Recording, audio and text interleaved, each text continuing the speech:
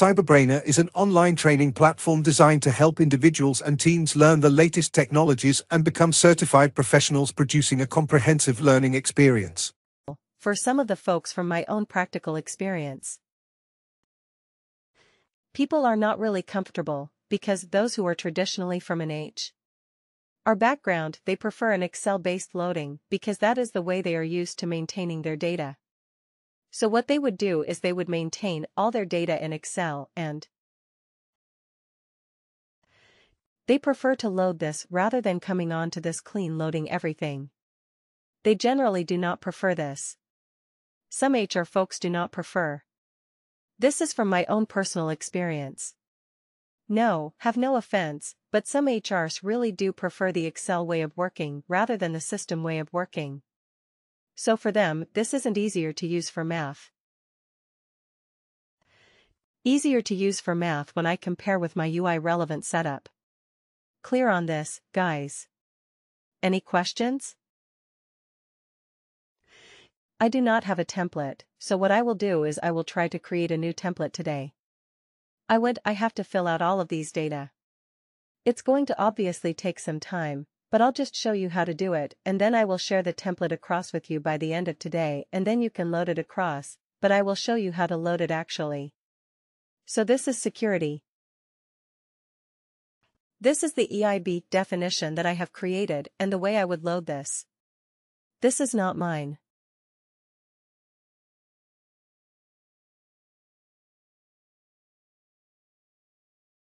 Let me go to my definition over here.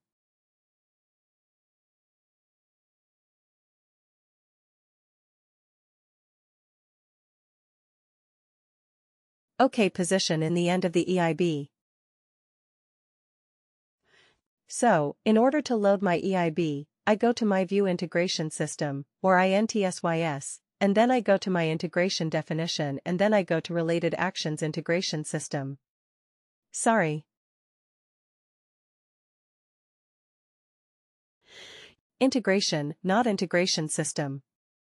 And then I say, launch. So if you see, I have given the value here as retrieval method over here on the left side. I'm just highlighting it in the mouse. Attach file at your launch.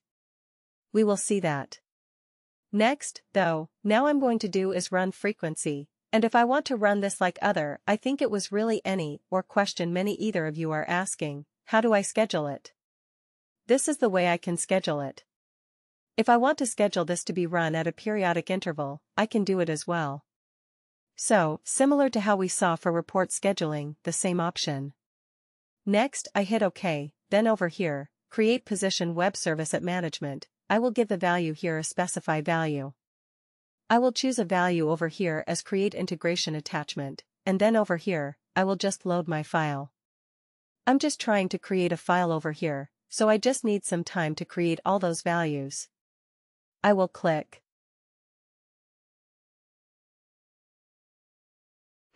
And attach to here. Alright, this is an empty template, so I'm not going to load anything and once I load it over here, if I want to mention other options over here, I can do it. For example, if I'm trying to load, say, 10,000 rows and 10,000 rows, how this will work in a real world is, out of the 10,000 rows, if 10 rows have errors, it is not that out of the 10,000 rows, the 10 rows have error out, so the process will fail for the rest of them. It does not work in that way. It will ideally work for all the 9,990 rows.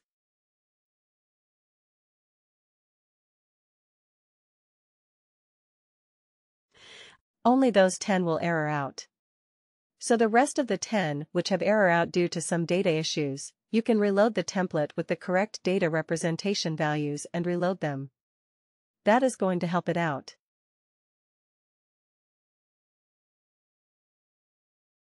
So I repeat, if I have 10 rows erroring out in my 10,000 row data set, I can ensure all the work it does, Ensure that the rest of the 9,990 rows successfully load and only 10 rows will error out which I can load it back again in my second run. That is number one option.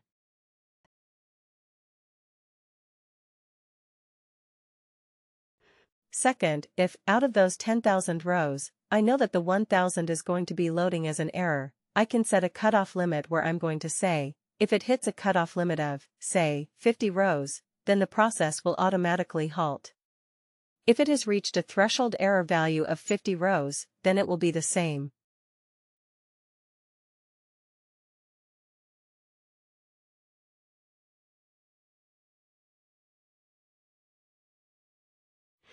So if it will error out, that is number 1.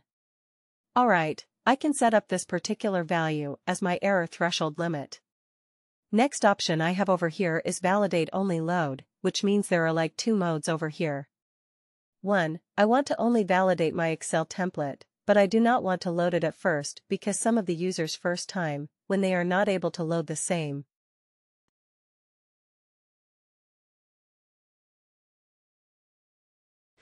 They will load it as if they will load it only as a validate. So if I check this box, it means it is going to only validate but not load. Validate for any errors which are there in my load. Alright, it is not going to have any kind of a loading done. The data is not going to hit the database, it is only going to validate for errors and checks. That's all it's going to. That's what we mean. But what we mean is a validate only more. I'm going to check this box. It's going to only validate. That is one. Next, add errors to the attachment. So every time a loaded, this particular attachment is going to come out with all the values which are error out and the valid error results will also be loaded in this attachment file. That you will see.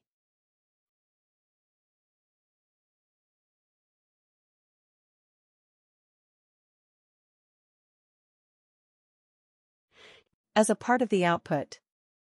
That is what this option is going to. Be clear on this as far.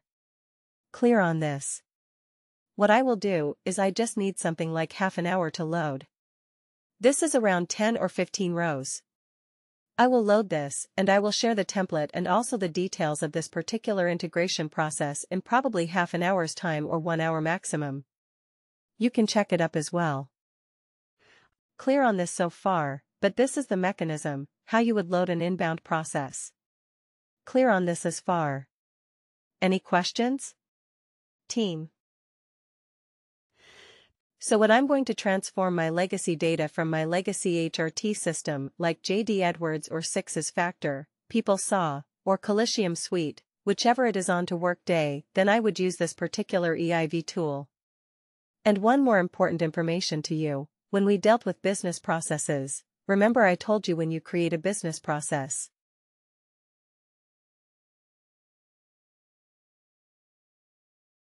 Please ensure that the performance is within limits.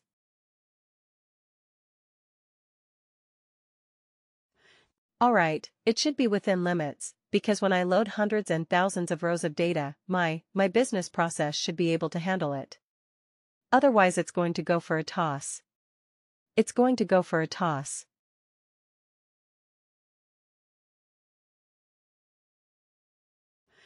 Clear on this. Any questions? Team because it will go for a toss if I'm going to have so much of information and so much of processes in between it and so much of integrations and everything. Imagine running 100,000 rows, 100,000 rows of data. If you're going to load it in one shot, if my business process is going to be all crap, then it's going to take several days. Because it's going to have so much of transformation. So that's why, in my external load definition of my business process, I try to keep it as lean as possible. And again. And again, my EIBs are going to be loaded only by very, very cherry-picked users, which could be at an admin level people only. Not every Tom, Dick and Harry is going to have access to load my EIB. So I'm going to use only cherry-picked. Admin or higher level users are going to have access to running EIBs. Not everybody's going to have access to it. If that makes sense to you as well. Let me open my Hire BP definition. It really makes sense for you. I'm opening higher RIAN.